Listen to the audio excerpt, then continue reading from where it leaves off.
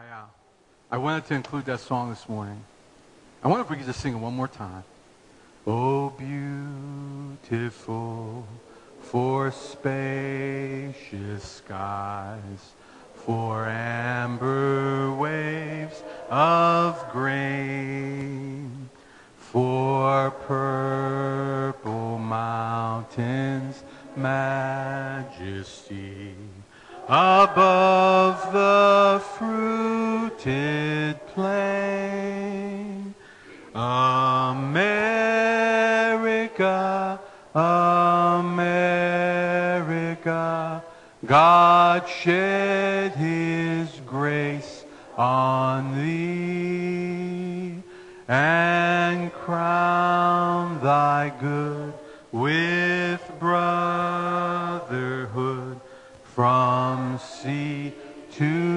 shining sea. Amen. I'm glad we can still we can still sing that song. I'm glad we can still pray and invoke God's blessing on our nation. Uh, Wednesday night, I did a little message, and I, if you if you want to, you know, get a copy or it's on YouTube, you can watch it. Uh, and Wednesday night, I talked about some of the bad stuff. How many people know there's some bad stuff in our society, in our culture?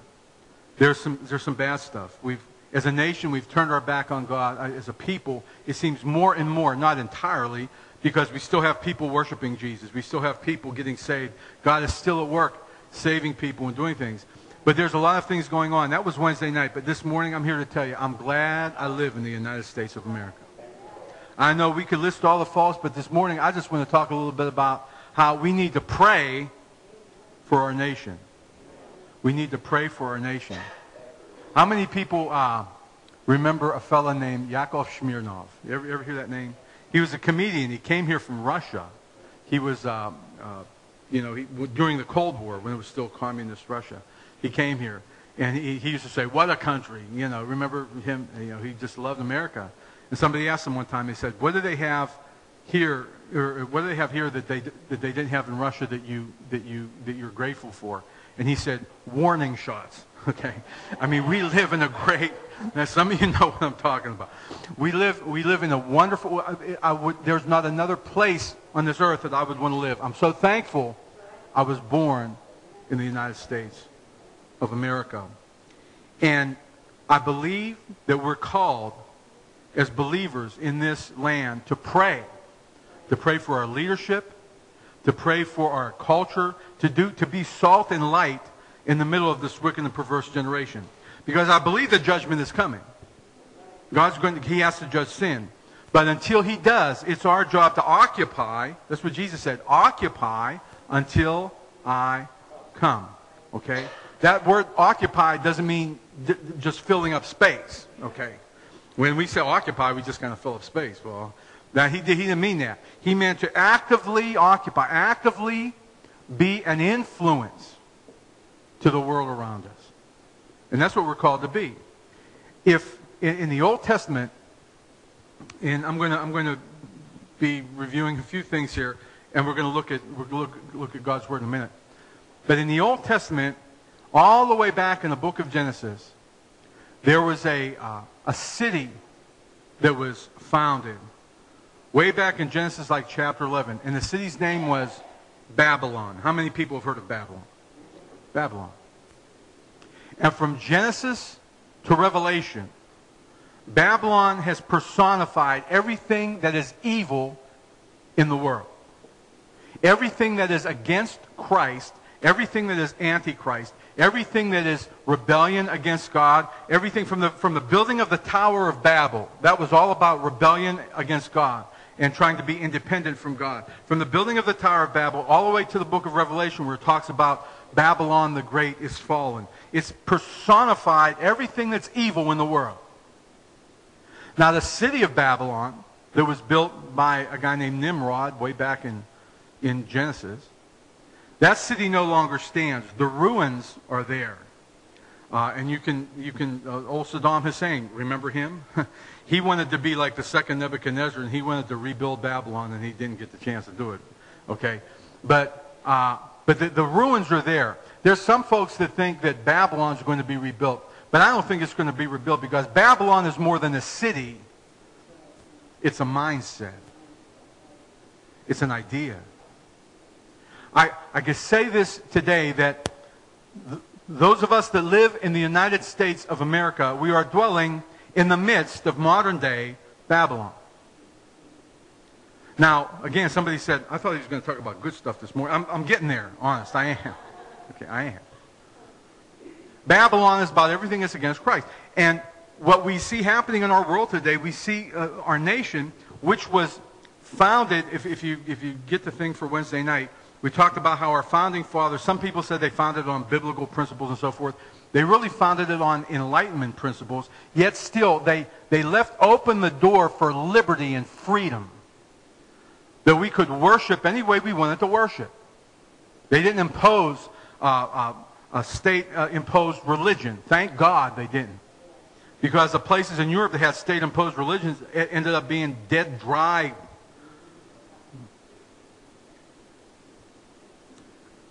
And I believe that God has blessed our nation throughout the centuries. 200 and, uh, some do the math, from 1776 until now. God has blessed the United States of America. If you look at, at places in, in, in our history where God intervened supernaturally in battles and, and, uh, and, and, and, things like that, where he, he allowed this nation to flourish. And somebody might ask the question, well, uh, Pastor Carmen, if, you know, I, I heard what you had to say on Wednesday night. And uh, how could God bless that? Listen, I believe God has blessed this nation for two reasons. Two reasons. The first reason is when this nation was founded, God had prepared this land for the founding of this nation. I believe his hand was in the founding and the beginning of this nation because, number one, he knew that when he would restore his people, Israel, to their land, they would need a friend. And since 1948 and even before there, the United States has been the best friend that Israel has had. The last few years, that has been waning. And not just with this administration either. Going back eight or ten years, that's, that's, been, that's been being uh, eroded. That friendship, that support we had for Israel. But I believe that God has blessed this nation because the Bible said, God told Abraham, whoever blesses you, I'll bless, and whoever curses you, I'll curse. That's one reason I believe God has blessed this nation. Another reason I believe God has blessed this nation is because he prepared this nation. His hand was in the founding and propagation of the United States of America because he knew it would be a place where the gospel could flourish and be preached to all the world. He made us the most prosperous, the most, uh, uh, the, the, the, most free, free enterprise, uh, monetary free system, supposedly. He gave us the, this ability to amass great amounts of wealth, and there have been those people who love the Lord, who have used their wealth to spread the gospel everywhere. And I believe God has prepared the United States of America for that purpose, that the gospel could go throughout all the world. If you read in the scriptures, you find out when we talk about Babylon, that God prepared Babylon for a purpose. As wicked as it was, as evil as it was, God had a purpose for Babylon being there. Because about 600 years before Christ, God's people, the Israelites, the Jews, they continually rebelled against him. They continually fell into idolatry. And he told them through the prophets, he says, I'm going to deliver you into captivity and he used Babylon as a place where he would house his people for 70 years. He, uh, the, the city was destroyed, but after those 70 years, the people were allowed to come back and rebuild the city. But God used that pagan nation for a purpose, for his divine purpose. I hope I'm making sense to somebody. God is using and blessing the United States and has used and blessed the United States for a purpose. But just like Babylon, there was a time when God's purpose for Babylon had ended. There's going to come a time when God's purpose for the United States is going to end. Does that mean we should throw up our hands and say, oh, well, it's all... No, we ought to pray for our leaders. And I'm going to show you why. If we're going to eventually, if we ever get into the, Bible, and we are, we're going to read Daniel chapter 4. Okay? Daniel chapter 4. But let me give you a little introduction to Daniel. How many people here have ever read the book of Daniel in the Old Testament? Uh, last year, a few months ago, we did a series of messages on the book of Daniel. You can either get copies or go on our website, and we have them on there. By the way, our website was down for a couple days. It should be back up now. But uh, if you go on there and, and you can listen to the messages and you can kind of get you know a, a better idea. I'm not going to go into detail here, but I want you to, to understand the book of Daniel was about a young man named Daniel who was taken captive by the Babylonians about 600 years before Christ when King Nebuchadnezzar, how many people have heard that name? Nebuchadnezzar was the king of Babylon. He was the greatest king at, at that time. He, Babylon was the most powerful nation on the earth at that time. He came and he conquered Jerusalem, and uh, he didn't destroy it right away. There was like three waves where he destroyed Jerusalem. But the first time he came, he, what Nebuchadnezzar did was he looked for some of the most promising young Babylonian men. Uh, I'm sorry, for the most promising young Jewish men like Daniel, and he had three friends, Shadrach, Meshach, and Abednego, these young men who had wisdom and intelligence, and he took them back to Babylon, and he didn't put them in prison, but what he did was he put them in the Hilton. And he, he fed them with all the best food, and he gave them all the best wine, and he wanted to try to train them in the ways of the Babylonians. He wanted to Babylonianize them. Okay, so that word doesn't exist, but it, so, so he brought he brought all these young men back, uh, Daniel and his three friends, and there were others. There was a, there was a group of them, and he he gave him his wine and gave him his food, and Daniel and the three and his three friends, Shadrach, Meshach, and Abednego, said, "We don't want to eat the king's food because if we do, we're going to defile ourselves, and we don't want to defile ourselves with the king's meat." So they refused to eat the food, and they prospered better than any of them. Now, this is just again, this is just a very thumbnail. Please listen to the messages. in chapter 2 of Daniel, okay, Nebuchadnezzar, who was the, the great king, he had a dream. And he woke up, and his dream troubled him.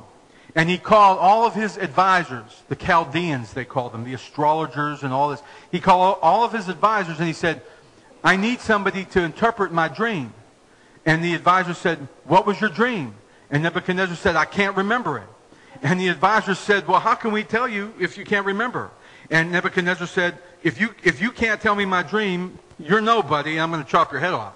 So all these, he made all his advisors try to tell him what this dream meant that they didn't know. Well, guess what? Daniel, God gave Daniel the understanding.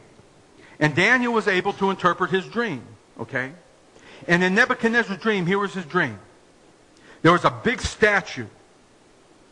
And the head was gold, and the, and the chest was silver, and the, and the stomach was uh, bronze, and the legs were iron, and the feet were made of iron and clay. And Daniel said, These, This statue represents kingdoms of the world. And he said, Nebuchadnezzar, you're the head of gold. And what, what, what the statue represented, without going into great depth, was the world kingdoms that would have something to do with Israel. Okay? Uh, Babylon, the Persians, uh, the Greeks, the Romans, and then those, those, those feet of clay and iron was like the Roman Empire kind of mixed up, which I believe is today, like democracy. But again, that's it's too deep to go into. But he told Nebuchadnezzar, he said, this, these are the kings, the, uh, the kingdoms. He said, Nebuchadnezzar, you're the king of gold. You're the head of gold. You're the, you're the greatest king that ever lived secular, in the secular world. And he said at the end of his dream, what happened, this great stone came out of the mountain, a stone that was, was cut, uh, not cut with hands. It came down and it smashed the statue. And of course, the stone represented the coming of Jesus Christ, who will establish his kingdom at the end of all things. So when Daniel gave Nebuchadnezzar the interpretation of this dream, Nebuchadnezzar was impressed. And he said, Oh, Daniel, your God is, oh, yeah. He, he made Daniel like a big shot. You know, he gave him, gave him like power. And you would have thought, if you read it, you would have thought that Nebuchadnezzar might have had come to know the Lord, you know, uh, Yahweh as his, as his God. But if you read chapter 3, the first thing Nebuchadnezzar did when he had this dream about the statue, you know what he did? He went out and built a statue.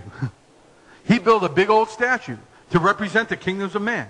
And he commanded that whenever the music would start, they, he was going to have a big worship service for this statue. When the music would start, everybody had to bow down to the statue. Well, when the music started, everybody bowed down except three of them Shadrach, Meshach, and Abednego. And we know the story. He took them and he threw them in the fiery furnace because that was the punishment for not worshiping the statue. And when they went in the fiery furnace, he looked in there, and he looked like there was four men in there. And those three men came out, and they didn't even smell like smoke. And Nebuchadnezzar says, wow, man, you're God. Now, now I, I, I, that was just a, just a little introduction because in the first chapter, we read about the witness of Daniel and his three friends. Uh, in, in, in, the second chapter, we see about God's power. God showed Nebuchadnezzar his power to understand dreams. And in the third chapter, God showed his proof that he was able to deliver his own out of the fire. Now, I want you to turn with me to Daniel chapter 4.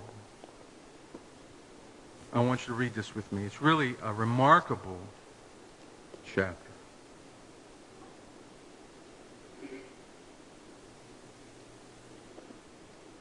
Daniel chapter 4. I got it here. And starting at verse 1. It says, Nebuchadnezzar the king, unto all the people. This Daniel chapter 4, it was recorded by Daniel, but it wasn't written by Daniel. In this chapter, we're going to read the words, the very words of Nebuchadnezzar. We're going to read his testimony. The king of Babylon, the king, the, the, the head of the most godless, antichrist place you could imagine, had a testimony of God. Listen to what he says. Nebuchadnezzar the king unto all people, nations, and languages that dwell in all the earth, peace be multiplied unto you. Well, Nebuchadnezzar didn't wish anybody peace before this. He was out conquering places, okay? I thought it good to show the signs and wonders that the high God has wrought toward me. How great are his signs and how mighty are his wonders. His kingdom is an everlasting kingdom and his dominion is from generation to generation. This was the guy who at one time thought that he was a God.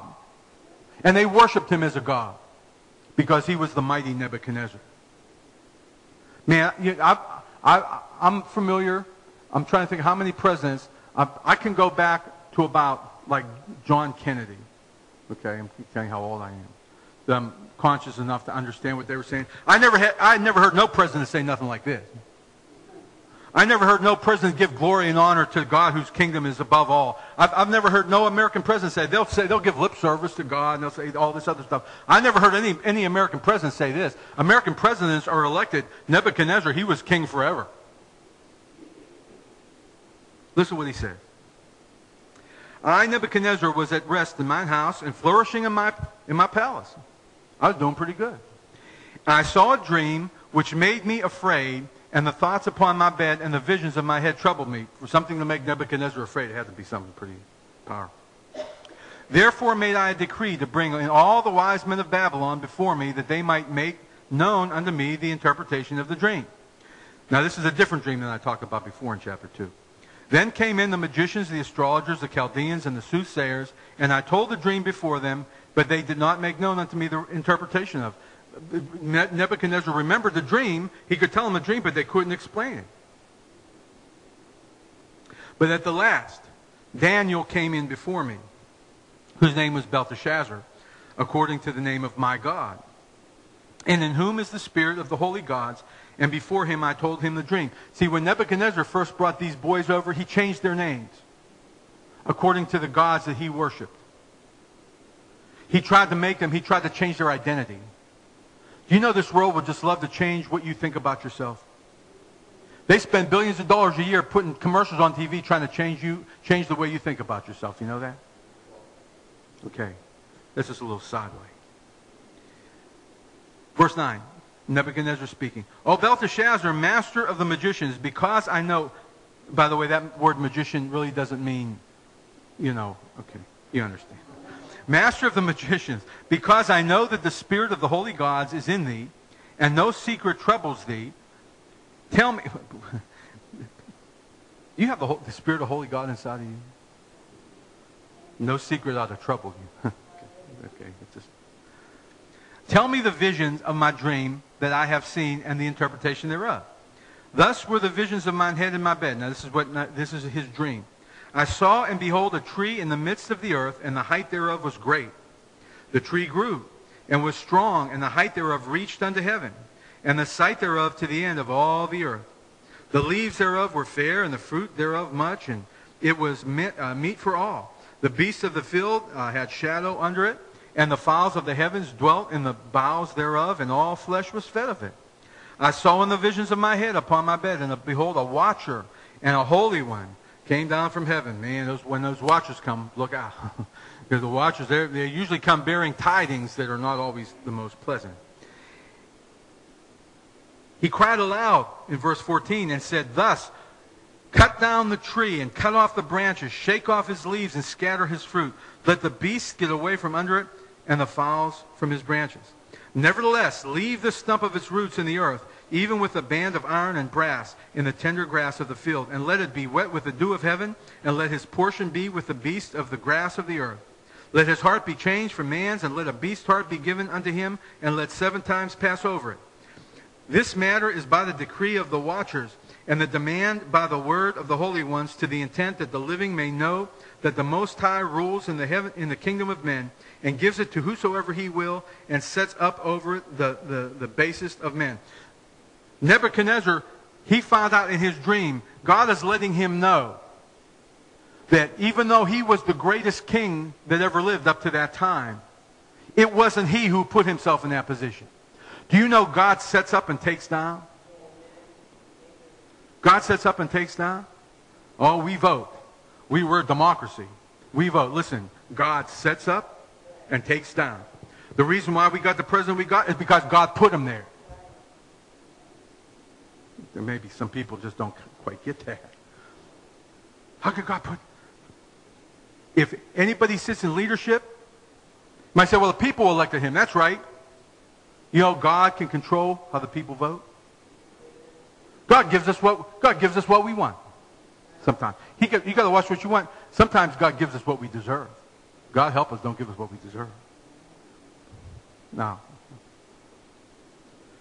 I'm just getting, it's getting too quiet in here. Okay. Somebody getting mad at me. but okay, now listen. All right. It says, reading that last part of verse 17, he rules in the kingdom of man and gives it to whosoever he will and sets up over it the basest of men. Verse 18. This dream I, King Nebuchadnezzar, have seen. Now, though, O Belteshazzar, declare the interpretation thereof, uh, for as much as all the wise men of my kingdom are not able to make known unto me the interpretation, but you are able, for the spirit of the holy gods is in thee. Okay? Now, Daniel, verse 19, whose name was Belteshazzar, he was astonished for one hour. Daniel didn't want to say nothing because he knew what the interpretation was. He knew what God was trying to tell Nebuchadnezzar. And he didn't want to say it. Because Daniel, I believe Daniel got, had respect for Nebuchadnezzar. He had been with him now. Daniel was an older man now from when he was a young man. It, it, this, was, this was years later. He was astonished for one hour, and his thoughts troubled him. The king spoke and said, Belteshazzar, let not the dream or the interpretation thereof trouble thee. Belteshazzar answered and said, My Lord, the dream be to them that hate thee, and the interpretation thereof for thine enemies. That's bad coming from a prophet. the tree that thou sawest, which grew and was strong, whose height reached unto the heaven, and the sight thereof to all the earth, verse 21, whose leaves were fair, and the fruit thereof much, and in it was meat for all, under which the beasts of the field dwelt, and upon whose branches the fowls of the heaven had their habitation. Verse 22, It's you, O king. You are grown and become strong, for your greatness is grown and reaches unto heaven, and your dominion to the end of the earth.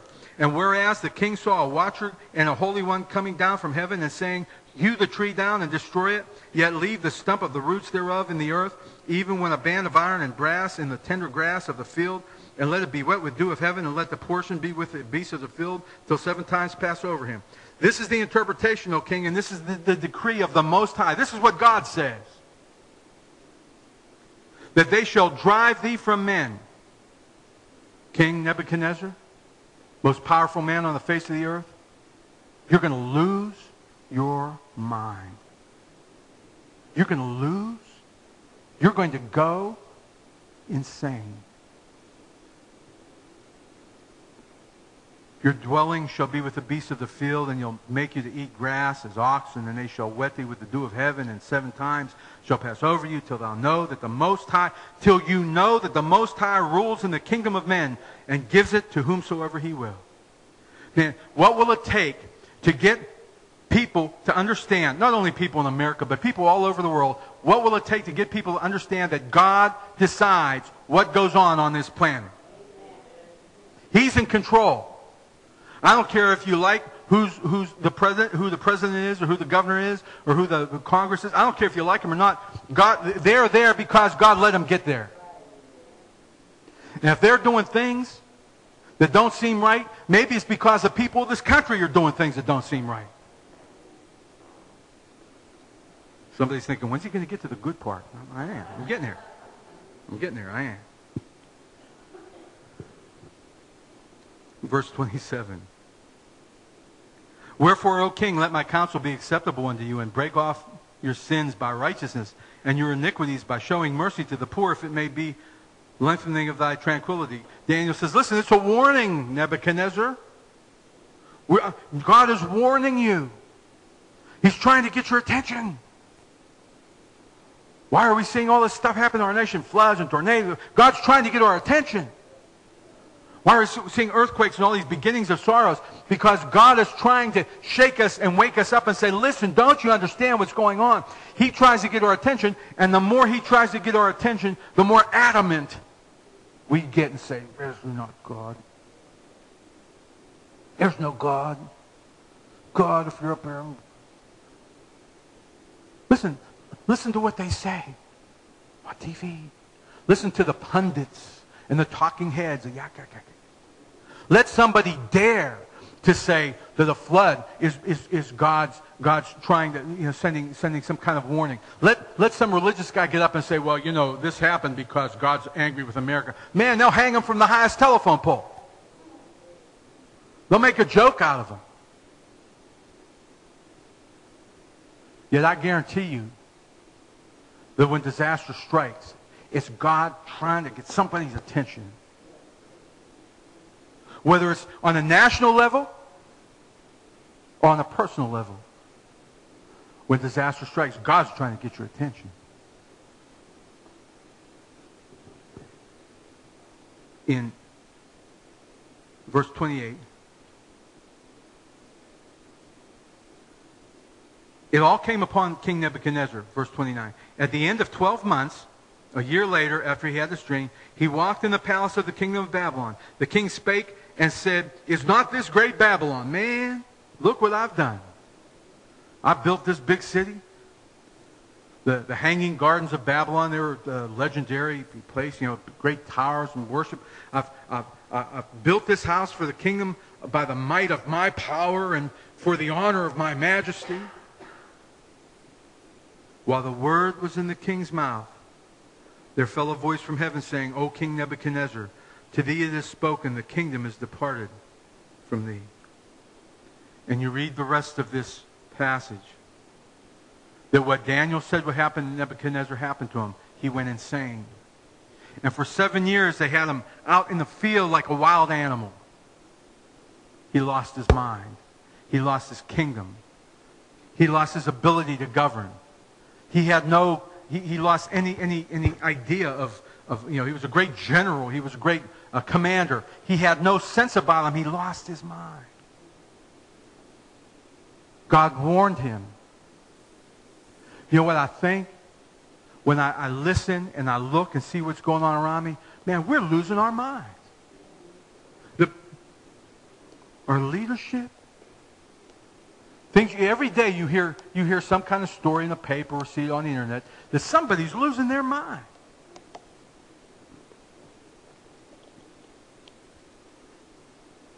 They tell them in a veterans cemetery down in Texas, don't say God or Jesus. That just happened. Can't say God or Jesus. They, they had crosses on a, in, a, in, a, in, a, in a public park, and they made them take them down. We can go on and on and on and on. People were losing their minds. I want to tell you something. I believe there's still some hope. Because the Bible tells us to keep to pray. Nebuchadnezzar lost his mind. But look at verse 34. Drop down. Now it's going to start getting good. Okay? All this stuff is going to start getting good. At the end of the days, I, Nebuchadnezzar, lifted up mine eyes unto heaven, and mine understanding returned unto me. And what did he do? The first thing he did was he blessed the Most High, and I praised and honored him that lives forever, whose dominion is an everlasting dominion, and his kingdom is from generation to generation. You see, I believe that this Antichrist king of the Antichrist nation got saved. It took seven years of insanity. It took, it took God to show him just how powerful he was. But he got saved, and he started blessing God. And all the inhabitants of the earth, he says in verse 35, are reputed as nothing. And he does according to his will in the army of heaven and among the inhabitants of the earth, and none can stay his hand or say unto him, What are you doing? At the same time, my reason returned unto me, and for the glory of my kingdom, mine honor and brightness returned unto me, and my counselors and my lords sought unto me, and I was established in my kingdom, and the excellent majesty was added unto me. Now I, Nebuchadnezzar, praise and extol and honor the King of heaven. Man, I'd love to hear a president of the United States say that. I ain't heard, I heard no president say anything like that. Nebuchadnezzar got saved.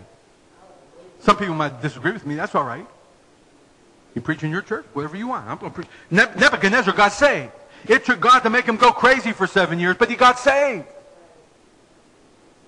And he called upon the name of the Lord. And my Bible says, Whosoever shall call upon the name of the Lord shall not be ashamed. I said all that to say, why? You know. Listen, don't you stop praying for Barack Obama. Don't you stop praying for Joseph Biden. Don't you stop praying for Tom Corbett. Don't you stop praying for the mayor of Arnold or the mayor of New Kensington or the mayor of Lower Burrell. Don't you stop praying for the police and the people in authority. We've been commanded to pray for those who are in authority. Don't stop because God might just have mercy on one of them. God might make one of them go crazy for seven years and restore him and they'll stand up and give glory to him. If he could do it with Nebuchadnezzar, he could do it with anybody. Don't stop praying.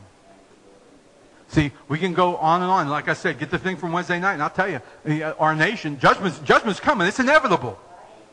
It can't stop unless there's some kind of great big turnaround, and I don't see it happening. But we need to pray. We need to pray for our leadership. We need to pray for those in authority. We need to pray for the people that run our churches. Because, man, they've, They've taken a big turn. Now listen. If you read chapter 5 of Daniel, I'm not going to read it. If you read chapter 5 of Daniel, you know what happened? Nebuchadnezzar died shortly after this. I believe he went on to be with the Lord because of what I read right here. But his predecessors weren't so tuned in. And his grandson, I believe, maybe great grandson, a fellow named Belshazzar, not Belteshazzar, that's Daniel, but a guy named Belshazzar. He became the king. And if you read chapter 5 of the book of Daniel, you read about Belshazzar, who was, this is, you know, decades later, he became the king, and he didn't have great respect for the God of the Jews. And he took uh, the golden, all, all the vessels that were taken from the, uh, from the, from the temple. And he began to drink wine in them and he partied and he made a mockery out of God. And you know what happened? You read about it. They were having this big party and everybody was making a big joke out of the God of gold and the God of silver, you know. And all of a sudden, somebody started writing on the wall. And when Belshazzar started, saw the writing on the wall, he dropped his cup and his knees began to knock. And he got to be afraid because he realized that that was the hand of judgment. You know, you hear the term the writings on the wall. That's where it comes from. And I'll tell you right now, the writing's on the wall. It's on the wall of our government. It's on the wall of our churches. God is saying, here's what, here's, here, here was the message that God had for Belshazzar. He said, we've weighed your kingdom and you've been found wanting. And that night, in one night, the kingdom of Babylon fell to the Persians. That's, that's verified historically from secular history that that happened. You see, God's going to send judgment. He's going to send, the Bible says, Peter said judgment begins at the house of God. God's going to find out who's really preaching his word, who's really his. And I'm not talking denominations. I'm not talking preachers. I'm, I'm, talking about, I'm talking about his word. Because you can find just as much foolishness in denominational, non-denominational. It doesn't matter. This is what counts right here. God's word. And if, if they're preaching anything but this, the writing. Weighed and found wanting. I want us to pray this morning. Listen, tomorrow, July 4th, our nation's birthday, I want you to get on your knees and thank God you live in the United States of America. I'm telling you, get on your knees and say, God, I'm thank you for letting me live in the United States of America. I want you not just tomorrow, but every day. Pray for those in leadership. Pray for them to get, don't pray for them to make decisions. You know, we pray, oh God, let this pass, let this not pass. Forget that. Pray that they get saved. If they get saved, you don't have to worry about what's going to pass or not pass. Pray for their salvation. Pray for their eternal destiny. Do that every day. And thank God we have liberty. We have freedom. We're, so, we're such a blessed people that we take it for granted. He told us to occupy till he comes. We think that means filling up church pews. We think that means building big churches and getting thousands of people in. Tell them whatever they want to hear and get them in the door. Pass the basket and I put the tithe. Listen. Pray for our nation. Pray that God might withhold his hand of judgment one more day. Because there might be one more person that needs to get saved. There might be one more person that needs to hear the gospel. There might be one more person that needs to hear the truth and come to the cross and the blood of Jesus and get saved by faith in the blood. There might be one more person who knows that God will stay his hand. Pray for our nation. And thank God, I'm so thankful I live in the United States of America. Because I have freedom, liberty that you can't find anywhere else on the face of this earth. Be grateful. And don't take it for granted. And use it for God's glory. Amen? Praise the Lord. We prepared the Lord's table this morning. And while that wasn't necessarily a communion message, it was a communion message.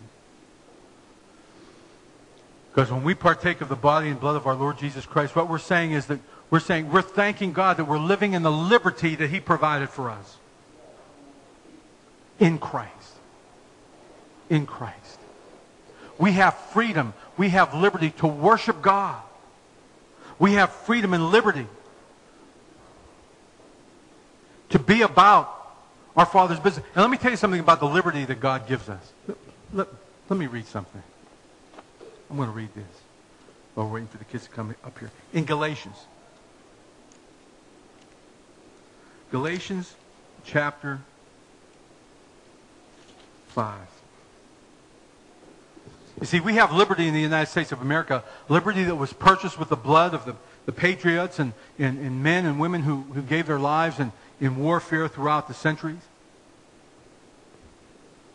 My father fought in World War II. Some of your parents fought in, in, in wars. And some of you may have uh, part, uh, fought in, in the military.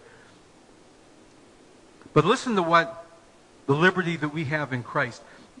He says in chapter 5 in Galatians, Stand fast, therefore, in the liberty wherewith Christ has made us what? Free. Now, see, that doesn't just apply to American Christians. That applies to Christians everywhere. That, that applies to Christians that are in Chinese prisons. They're free. That applies to Christians that live in Islamic nations where they have to hide for fear of their very lives. They're free. They might not be free according to their government, but they're free according to what Jesus did. Listen to what he says.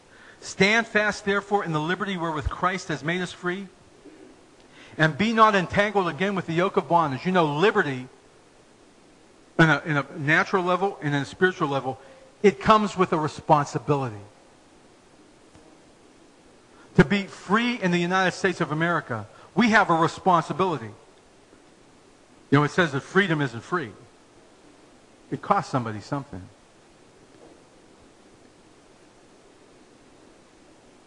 He said, stand fast there in the liberty, and if you, if you, if you uh,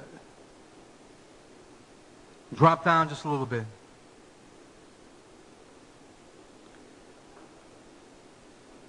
Verse 13.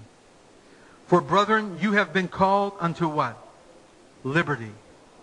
Only use not liberty for an occasion to the flesh, but by love serve one another. That's our responsibility. That's what we're called to do.